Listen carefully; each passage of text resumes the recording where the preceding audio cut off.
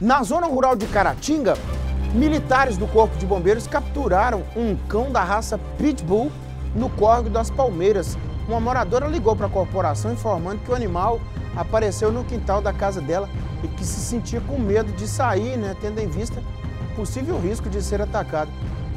É, por meio de técnicas adequadas, como a gente percebe ali, o cachorro foi capturado e levado para o canil da cidade. Né? Os demais moradores não souberam informar quem poderia ser o dono.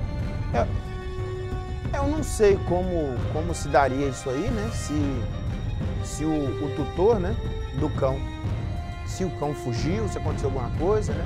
Se cabe alguma penalidade a ele, não, não, não sei se cabe, acho que acredito que não. Mas provavelmente o tutor, sabendo da reportagem e da repercussão, vai lá buscar o cãozinho, né? É o Pitbull. É uma raça bem específica, né? Muito bem específica.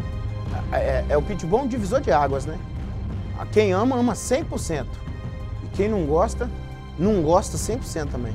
É. Não é igual vira-lata, não, que a pessoa gosta mais ou menos. Esse aí é gostar ou não gostar. Então, pitbull. Você gosta de pitbull, Jarão? Gosta. Você gosta também, Lamonier? Hã? Não? Lamonier não gosta de nada praticamente.